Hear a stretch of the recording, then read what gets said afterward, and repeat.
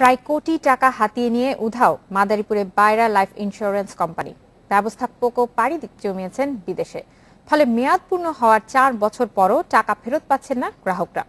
ফরিদপুর ও ঢাকা অফিসে যোগাযোগ করেও কোনো প্রতিকার পাচ্ছেন না তারা। মাদারীপুরের রাজৌরে দুই সালে কার্যক্রম শুরু করে বাইরা লাইফ ইন্স্যুরেন্স কোম্পানি। নানা লোভ দেখিয়ে এক হাজার দরিদ্র পরিবারের কাছ থেকে সংগ্রহ করে প্রায় কোটি টাকা। বিমার মেয়াদ শেষে টাকা চাইতে গেলে চার বছর ধরে টালবাহানা শুরু করে তারা।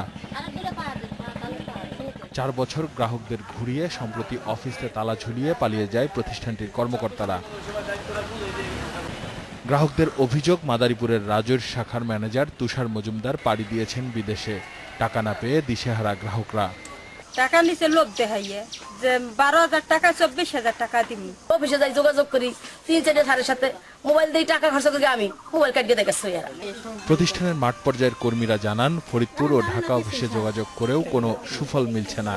তুষারের সাথে আমরা যোগাযোগ করতে পারতেছি না। তুষারের বাড়ি যাই হ্যার বউ আমাকে যোগাযোগ সঠিক রাখ- মানে রাখতে পারে না। আর ম্যানেজার তুষার মজুমদারের পরিবারের দাবি শিগগিরই দেশে ফিরে গ্রাহকদের টাকা পরিশোধ করবেন তিনি।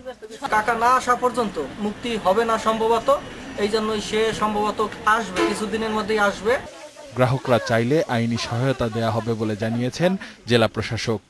যারা ভুক্তভোগী যারা যারা যারা প্রতারিত হয়েছেন তারা যদি কেউ আইনের আশ্রয় নেন অবশ্যই যারা দায়ী ব্যক্তিদের বিরুদ্ধে তদন্ত করে আইনের ব্যবস্থা নেওয়া হবে। টাকা লগ্নিতে সবাইকে সচেতন হওয়ার আহ্বান জানান জেলা প্রশাসক।